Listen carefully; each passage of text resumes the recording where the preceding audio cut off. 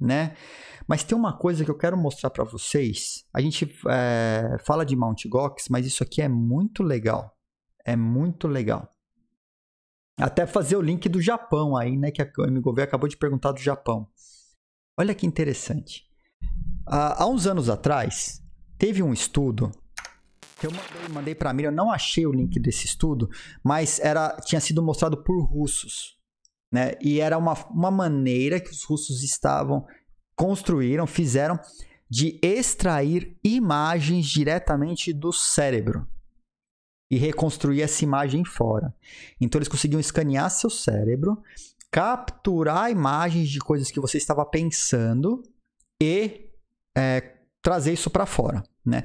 Mostrei aqui na Estônia tal, aí o pessoal tirou uma onda comigo. Falou, ah, isso é coisa de russo, é russo fazendo, é mentira. Não... Cara, eles sabem, né, de onde que o. Que que os, que, qual o poder russo de fazer marketing falso. Estônia, diga-se de passagem, já contei essa história aqui. E aí, saiu, o IntRD me mandou, um, um brother, me mandou esse link que eu vou compartilhar com vocês de um estudo científico publicado na cell.com, tá? Seríssimo, reconstruindo experiências visuais da atividade cerebral. E aqui eu vou pôr para vocês que aí não é bullshitagem, aí não tem como falar, ah, foram os russos, é mentira. Não, cara, é estudo publicado. É outra pegada. Tá no chat esse estudo, né? Olha, eu vou pôr um isso aqui. A imagem que foi apresentada para a pessoa, eles escanearam o cérebro utilizando uh, ah, MRI, é, é ressonância magnética, e houve a reconstrução no computador das imagens, utilizando inteligência artificial, das imagens que o cara estava vendo.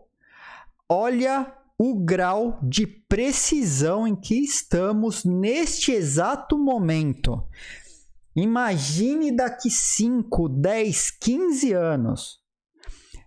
A gente vai ter tecnologia como se fosse a tecnologia Tempest escaneando o cérebro das pessoas. Imagina você pegar daqui 15, 20 anos, pegar uma lata de Pringles, escaneando a mente das pessoas. Porque hoje foi através de, de ressonância magnética, né? Pô, puta computadorzão, negócio lá escaneando, lá derretendo o seu cérebro. Mas imagina a partir do momento em que isso virar tecnologia comercial, que a, a inteligência artificial for aprimorada e a galera podendo escanear com muito mais. Cara, o hacking, o bio. As pessoas falam biohacking, que hoje a galera só usa para melhorar sua performance e tal. Cara, hacking de DNA. É o verdadeiro biohacking, né? Modificação genética, manipulação genética, extração de dados diretamente do seu cérebro sem precisar plugar um fio na sua cabeça é simplesmente genial. E quando a gente olha para esse mundo futurista, pós-apocalíptico, é que no pós-apocalíptico talvez isso não aconteça, né? Talvez a gente não tenha energia elétrica, né? Mas no lá próximo do, da era apocalíptica, antes de chegar no pós-apocalíptico, né?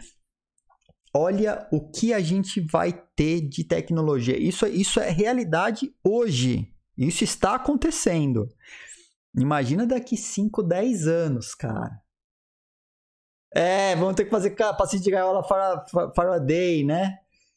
Andar com alumínio, papel alumínio na cabeça, que nem o Fábio colocou. É, pois é, cara. Pois é. Tem umas aqui, mano, é muito absurdo, cara. É muito absurdo. Contexto, identificando palavras. Tem uma que mistura aqui, põe palavras aqui. Isso é o que a inteligência artificial está tentando capturar, cara. Imagina, olha que tiver uma, um ajuste fino. Olha só, é, Matheus, imagina você password, senhas, coisas que você guarda na sua cabeça, meu amigo. Se você guardou na sua cabeça, você será hackeado você será hackeado. Imagina, hoje o pessoal fala de. É, a liberdade de expressão está comprometida. Imagina um momento que você tem que cuidar com o que vem de pensamento na sua cabeça. Eu já falei isso aqui antes. Eu tô protegido. Eu sou praticante de meditação. Eu tô muito, eu já estou me protegendo dessa história toda, né? Sairei na frente. Já estou me adiantando. Faça suas práticas de yoga, faça suas práticas de meditação.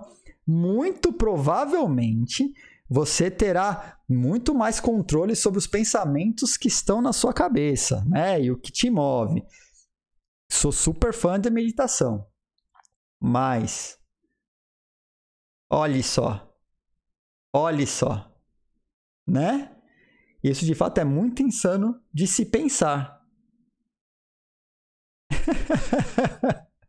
Cara, vai, vai ser bizarro. Vai ser bizarro daqui a um tempo.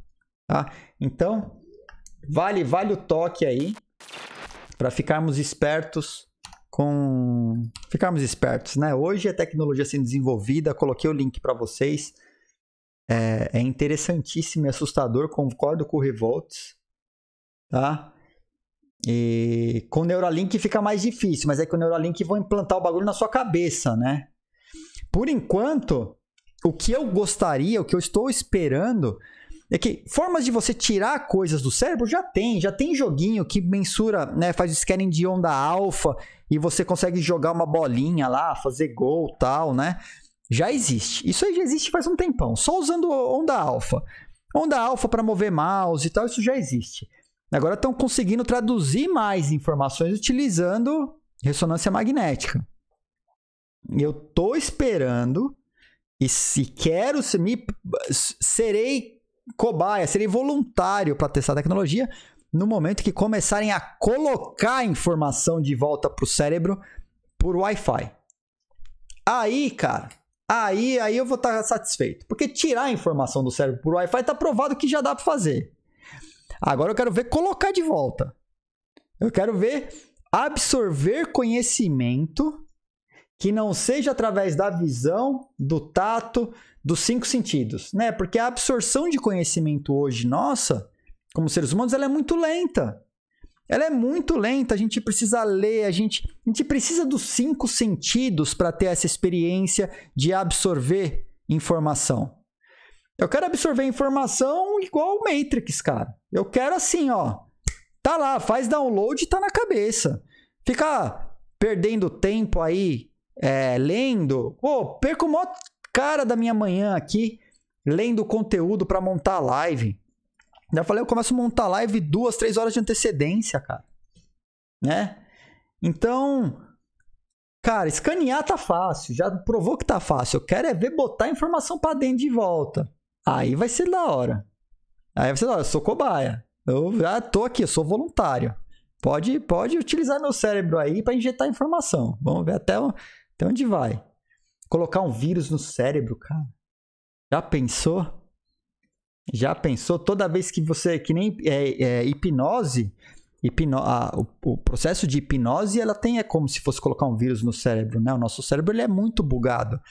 E no mundo da mágica, a gente usa muito recurso de pegar a falha do cérebro da pessoa. Então, a mágica acontece nessas falhas do cérebro. Isso faz parte é, quando a gente estuda a mágica, o ilusionismo, a gente trabalha muito com isso o tempo todo, né? nesses gaps de, é, de funcionamento do cérebro.